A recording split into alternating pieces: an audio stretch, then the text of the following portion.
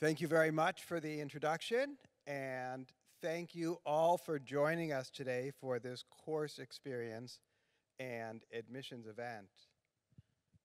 My, the title for my talk is There's No App for That, Why Humanities in the Fourth Industrial Revolution.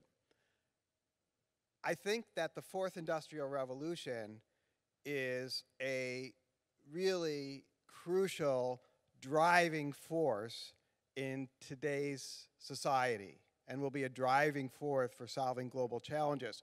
It's one of the reasons that we have just added as our most recent major computational uh, and data sciences uh, because of that importance. At the same time, I think that other disciplines, including the humanities where I'm from, remain crucial to solving global challenges as well. Uh, the, the tools of the fourth industrial revolution need these other kinds of knowledges to maximize uh, their effect and to make sure that we use them well. And so, in part, this is a talk about the kind of education that we offer at George Mason University, which comes from the American liberal arts tradition, which, in which people study across a broad range of disciplines, no matter what they major in. And so I'll be talking about that. First, let me tell you a little bit about myself because uh, some of these questions I've been thinking about for a very long time. Uh, I'm currently campus dean at George Mason University, but I started uh, at George Mason in 1993 as a professor in our English department. And my background is in English literature, and uh, my specialty is in Renaissance English literature. Uh, the Renaissance um, uh, in England was between about 1485 and 1660, and it produced some of the great uh, writers of the English language, including, I think, uh, uh, um, Dean Chung mentioned William Shakespeare. Interestingly, though, during this time, writing literature was not seen as a very useful thing to do. And particularly, writing poetry was seen by many people as quite a waste of time. Um, and one of the authors I write about, so the title of my book is Defending Literature in Early Modern England. How in this period did people defend writing literature? One of the people I write about, his name is Philip, was Philip Sidney. He was a knight. He was also a soldier. Um, uh, he was a member of uh, Queen Elizabeth's court, the reigning queen at the time, and he wrote a, a, an essay called The Defense of Poetry.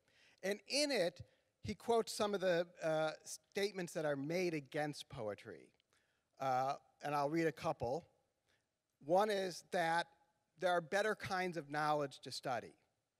He says, There being many other more fruitful knowledges, more productive knowledges, a man might better spend his time in than in, than in this, than in poetry. So if you're going to study something, don't study poetry, study something else. And worse, poetry is just a waste of time, it's just a game. Uh, and this is another criticism he, he mentions. Before poets did soften us, we were full of courage given to martial exercises. We were good soldiers, the pillars of man-like liberty, and not lulled to sleep in shady idleness with poets' pastimes. So he goes on and he uh, argues why poetry is really important as, a, as, as, a, as an enterprise, as something to do. Um, and we can hear echoes of this in this question now about what should I study? Why might I study literature when we see so much social impact uh, in areas like technology, in the areas that are driving the fourth industrial revolution, why, why study the humanities? So these are questions, one, that I've been thinking about for a long time, and two, that go back hundreds and hundreds of years in the Western tradition, and I'll talk about that. First, though, I just want to back up a little bit and talk about these different domains of knowledge to just get some terms uh, set for us. Uh, so one category of domains of knowledge is the humanities. And that's the, that's the area that I come from. And, and the humanities include history, literature, languages, philosophy, religious studies, works of human culture. Then there are the social sciences, and you'll be hearing from a couple of my colleagues in the social sciences uh, coming up, economics, anthropology, global affairs, psychology, sociology are some of those fields. There are the sciences, such as biology, chemistry, math, and physics. And in the last 20 years or so, there's been a new category um, that overlaps with the sciences that is referred to as STEM, uh, an, uh, an acronym for uh, science, technology, engineering, and math. And so there are these different kinds of knowledge, and going back thousands of years, there have been debates about, well, what, what's the most productive kind of knowledge? What's the master knowledge?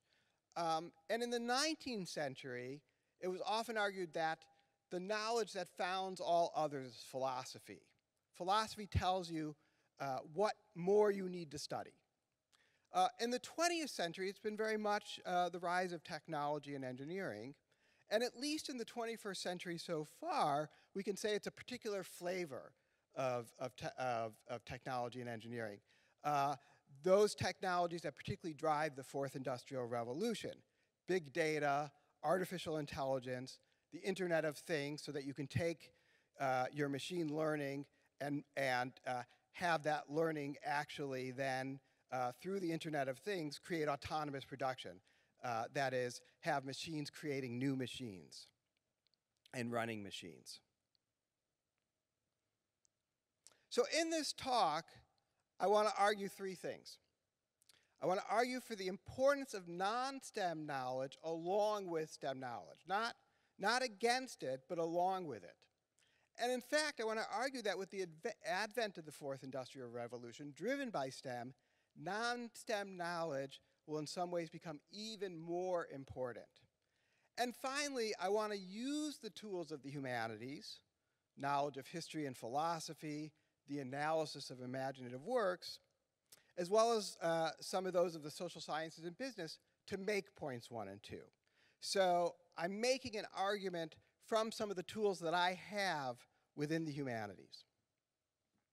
And I start with, at least in the US, a really iconic, a really famous advertisement and slogan. Uh, and this was, I, this iPhone looks pretty primitive now. I think it must have been like iPhone 1 or 2. Um, uh, but it was an ad for one of the early iPhones that said, there's an app for that. Uh, and the idea in this slogan that was very powerful uh, is that whatever problem you have, there's an application that can solve it.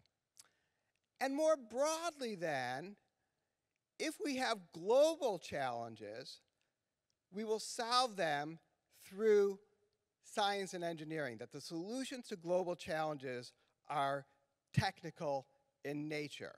And that's reflected in how we often think about how we solve global challenges now. The interesting thing, though, is that the founder of Apple, or the co-founder of Apple, Steve Jobs, did not believe that technology alone was sufficient. He very famously said, this is a quote from Steve Jobs, it is in Apple's DNA that technology alone is not enough. It's technology married with liberal arts, married with the humanities, that yields the result that makes our hearts sing. And it's interesting here that he even moves towards the language of poetry or music of the humanities when he says, the results finally have to, have to sing. They have to be beautiful, not just technologically productive, but beautiful.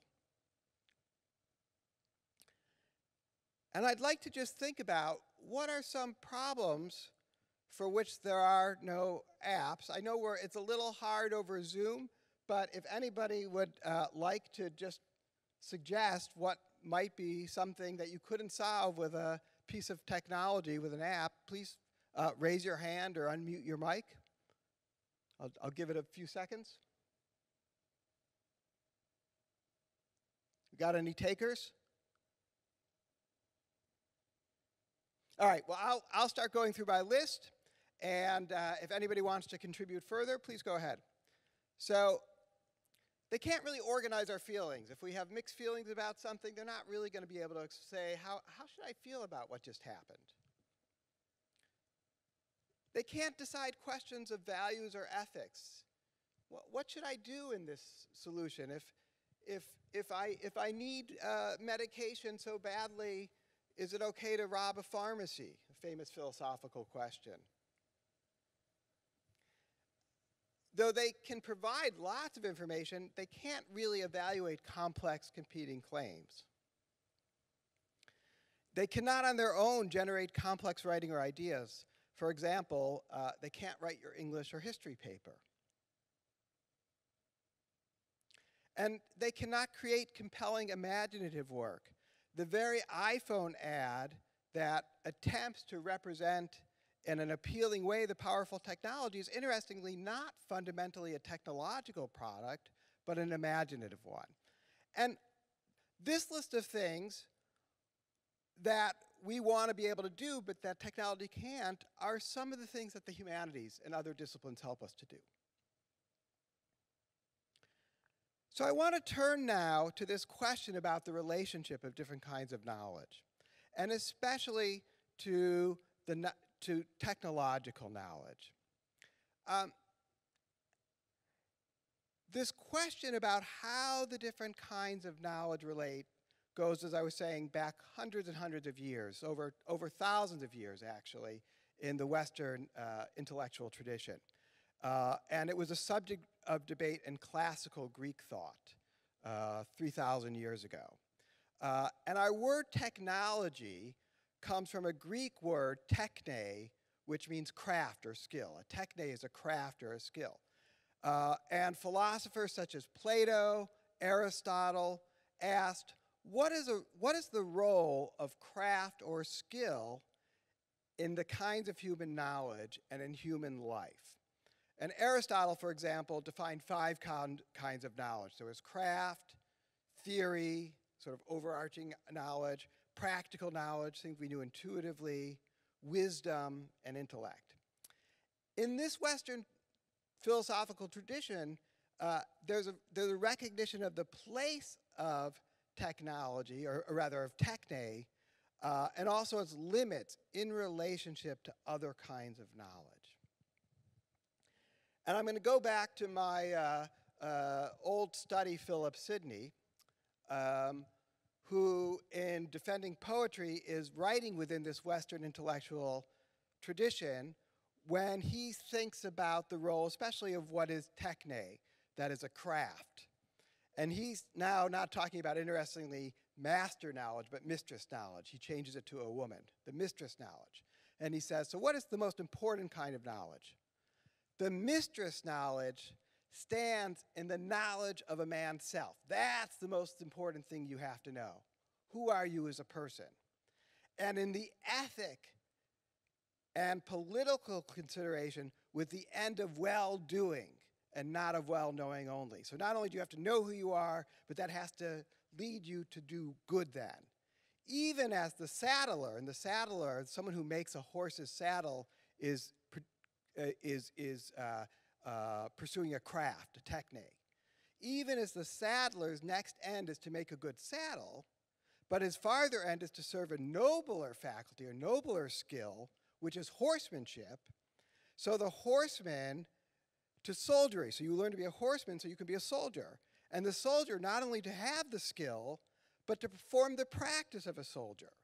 So that the ending end of all earthly learning is virtuous action. So it's great to be able to know how to make a saddle, but there's a limited role for that. You make the saddle so you can have someone who knows how to ride a horse, and it's great to know how to ride a horse, but you want to know how to ride a horse so you can be a soldier. And you don't just want to be a soldier for any reason, you want to be a soldier because that's a virtuous action in the defense of your country, which is what Sidney really wanted to do. Um, so the master knowledge is this well, not only knowing yourself and therefore knowing what to do, but doing it.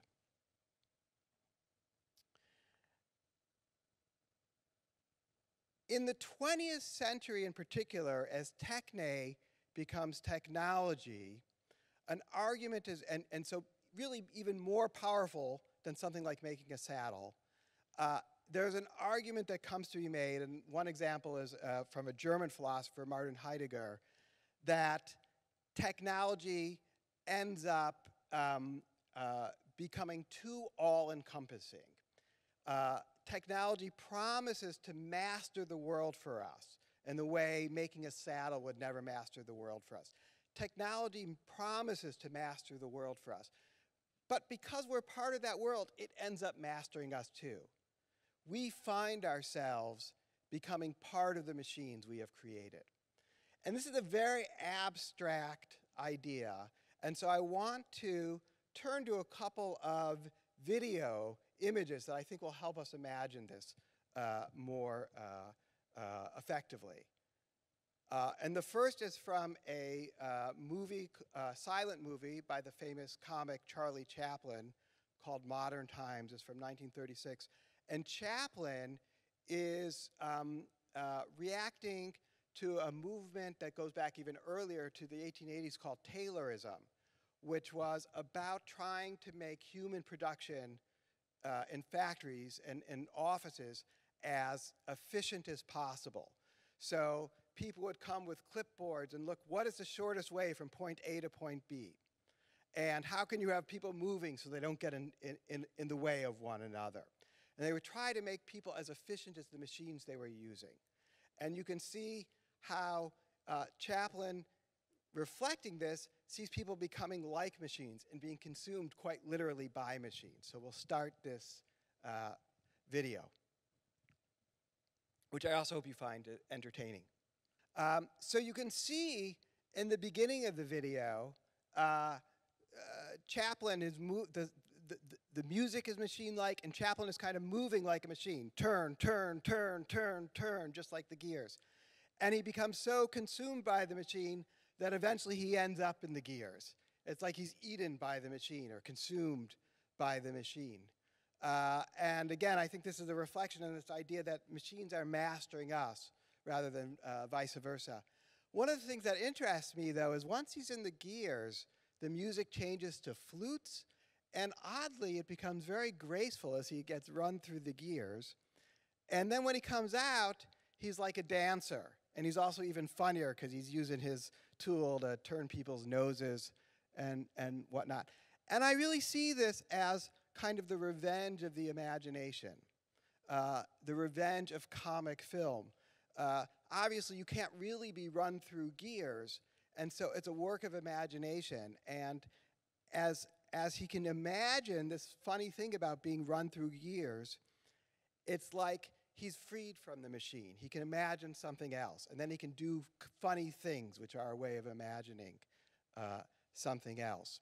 Uh, and I see that as part of the role of the humanities, to imagine other things and to, to um, uh, use other human capacities other than uh, uh, machine-like production. My next video is a less optimistic um, I think, version of, well, um, it's, it's a different tone, and I'll talk about it in a second. Um, this is from uh, a commercial for the Android operating system. I talked about the iPhone. I want to make sure that I uh, uh, give equal time to Android. Uh, and uh, you'll see a, another image of a human becoming a machine.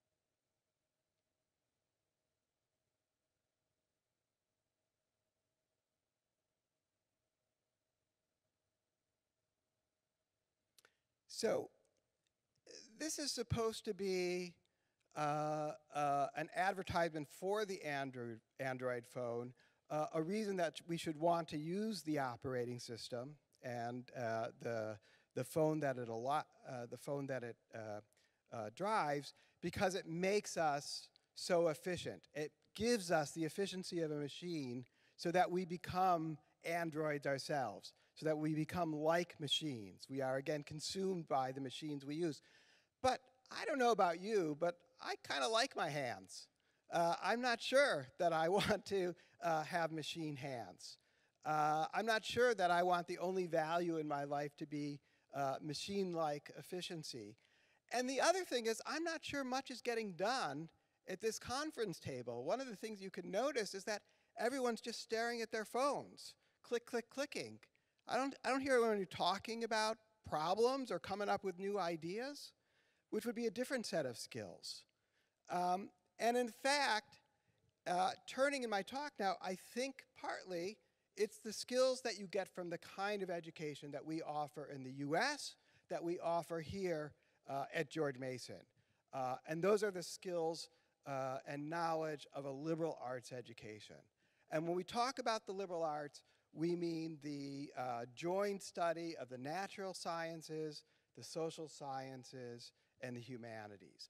And there's an American liberal arts tradition that goes back uh, uh, hundreds of years. And uh, in the little picture that I have here, uh, uh, I have a picture of the, of the typical small American liberal arts college. And you can see the difference from the scene at the conference table. Here uh, we have a bunch of people in the uh, bottom corner of the picture talking to one another.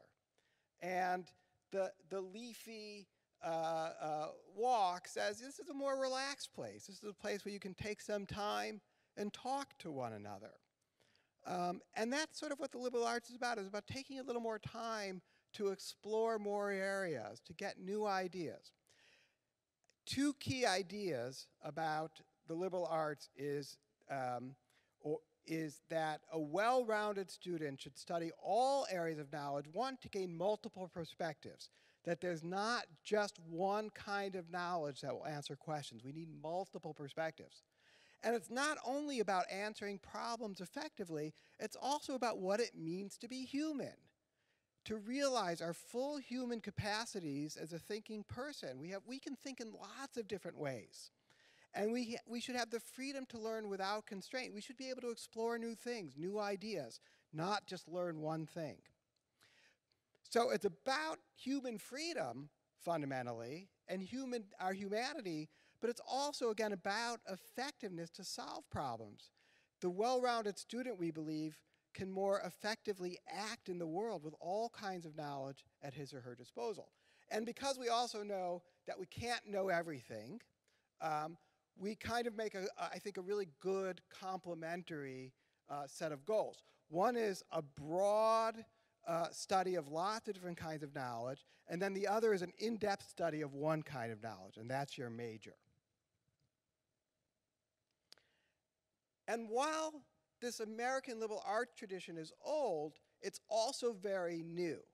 That is, it's also more and more seen as the kind of learning that we will need in the fourth industrial revolution, in the machine age.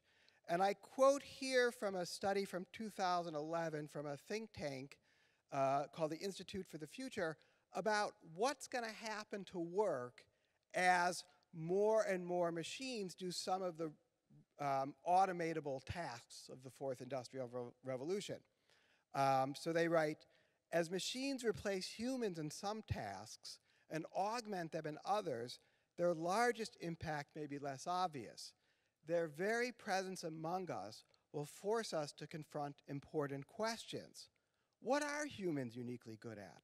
What is our comparative advantage? And what is our place alongside these machines? We will have to rethink the content of our work and our work processes in response. And their answers are many of the skills that one gets through the humanities and through a broader liberal arts education. So making sense of things, seeing the deeper meaning behind things, the deeper significance of something. Social intelligence, understanding how people react to one another what people are thinking, what, what are their concerns. Novel and adaptive thinking, being creative, cross-cultural competency, understanding other cultures, and something that we particularly do here at Mason Korea. Computational thinking. It's not, not that math and uh, uh, data aren't important, they are, but it's one of the skills you want.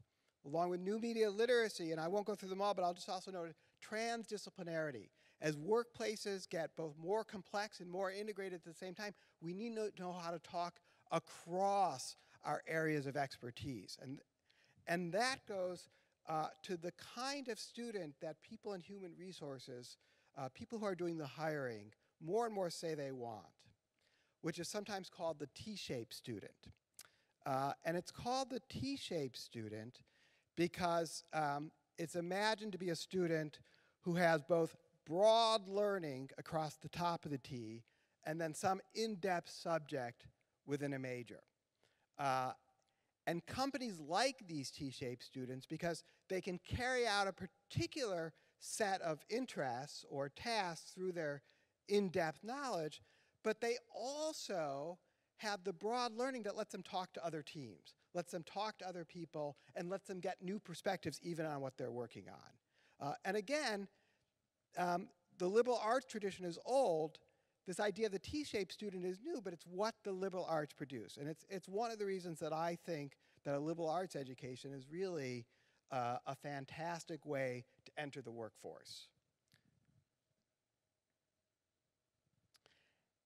There's another reason, I think, in terms of one's own career, where this liberal arts tradition is uh, uh, so important, and that's um, because we change jobs more and more in the 21st century. So you may be called on to do more and more things, different things as you change jobs.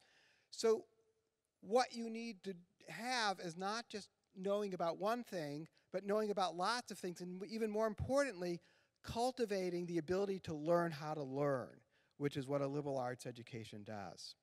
Um, so uh, I'm, I'm, I'm quoting here from a famous professor of management from the University of Pennsylvania's Wharton School, uh, who says, um, the time spent in college learning uh, practical knowledge might lead to a first job, such as the latest uh, healthcare regulations. So, you, uh, um, so by learning the latest healthcare regulations, you might get a first job that way, but it comes at the expense of learning other things that have a much longer shelf life. How do we get the knowledge or the ability to reinvent ourselves or even change fields if all we've ever been taught is the practical skills in one field? So if all we've learned is something very narrow, we're not going to be able to reinvent ourselves or to move up in our job, whereas you move up, you need to be able to do other things. And I have found this personally to be very, very true. I've come a long way uh, from uh, reading Philip Sidney, from writing about English literature. I'm now uh, very much a manager. Uh, uh, and I go back to the things I learned in the humanities and my liberal arts education every day. Uh, and I feel like that education has really allowed me to grow in an important way. And this is something that other countries uh, have recognized too. I think it's one of the reasons that we are in Korea right now. Uh, so this is from an article from Forbes magazine, uh, The Rise of Liberal Arts Colleges in Asia. In recent years, a revival of the liberal arts model may be coming from a most unlikely place, Asia. In, in recent years, educators and administrators in countries like China, Japan, South Korea, and Singapore are focusing on schools which focus on critical thinking and creativity. Uh, you get those kinds of learning from what we do in the liberal arts, in the humanities, where not only are you learning many different perspectives because you're learning uh, from different kinds of areas of knowledge, but you're also being asked not only to learn uh, information, but to analyze it, to test it, to critique it in dialogue with your instructors and in dialogue with other students. And that is so powerful to me. And it is, it is, it is, it is kind of the opposite of the Charlie Chaplin just turn, turn, turn, turn, turn. That's what we're trying to do here. And if we think about the liberal arts and global challenges, I just want to just reflect a little bit on some of the global challenges that we have for which there's no app. Um, so uh, peace building and national or cultural conflict. I think it's, it's pretty clear here we can't just solve these through a technical solution. We have to think about history, we have to think about different interests, we have to think about how we communicate with one another. These are all um, uh, uh, subjects uh, uh, for which the humanities and social sciences are, are very uh, important. Likewise, rising social inequality. Um, we have to think about what's just. What do one group of people owe to another people, as well as what the best way uh, to address that through, say, economic means, through different tax uh, systems or through um, uh, minimum wages. But you might say, like, okay, yeah, of course, those, I can see why I need the social sciences or humanities. But I want to argue that even uh, problems that do look like they are problems that are mainly technological problems or scientific problems really are only partly that. And I think a good example is climate change. The science around climate change is pretty much settled. Uh, we know what's causing it. We have pretty good predictive models for it. Um, to solve climate change, we really are back to the humanities and social sciences uh, to use those tools effectively because we have to say like, how do we communicate uh, to people the dangers of climate change when it's very hard to see from day to day? That's a question of the imagination. How do we help people imagine climate change? It's also a question of economics and of justice. Who should pay for the kinds of steps we're going to need to take to solve climate change? Uh, should it be evenly distributed across nations? Or should the nations who have contributed the most to climate change pay the most? Should the wealthiest nations pay the most? These are all active questions, and they're not technological questions. Another one is cybersecurity. Uh, there's a lot of, of, of work within uh, the STEM fields on how you make uh, computer systems that are, are, are secure, but it turns out that um, the weakest link in a computer system is the person who's using the computer. Uh, and that's why our psychology department at, at uh, George Mason has gotten lots of grant money working on, on, on cybersecurity because there's something called human engineering. How do you get that person to click on that link and give you their password? And no matter how strong you make your technology, if you can, if you can write to someone and say, hey, it's an emergency. You're going to lose all your access unless you give me your password, unless you can figure out how to tell people, don't do that. Um, you're not going to have secure cyber systems. So again, it's a human problem as well as a technological problem. Uh, disinformation has been a, a, a, large problem, uh, uh, certainly with the advent of social media. We can use algorithms to flag disinformation, but to really give people the critical skills to, to judge between what might be true and what might be false, they need, again, some of the uh, uh, practice that you get through a liberal arts education where you learn about evaluating sources. You learn about uh, studying where the source might come from. And finally, I'll just take one that's very uh, close to home uh, now, pandemics. Uh, again, it is a, a, a, miracle. It's a, a fantastic thing that through bioinformatics and biological sciences, we now have a vaccine, but we also have people who are suspicious of taking vaccines. How do we persuade them? And before we had the vaccine, and right now, we have to persuade everyone to be careful, to wear our mask, to social distance. That's a human problem, right? So all of these problems, even where they have important technological facets, also have really important human facets. And I think as we go forward, to make sure that we are the masters and the best users of these technological tools of the fourth industrial revolution, we need to also keep our eye on the human questions that are always really what's driving how we use technology. And I'll end with uh, the George Mason mission statement. And I'll just, don't worry, I won't go through all four points of it. Uh, but I will just uh, point to the overall mission, which I think is important. And I'll, I'll read the uh, italic uh, part.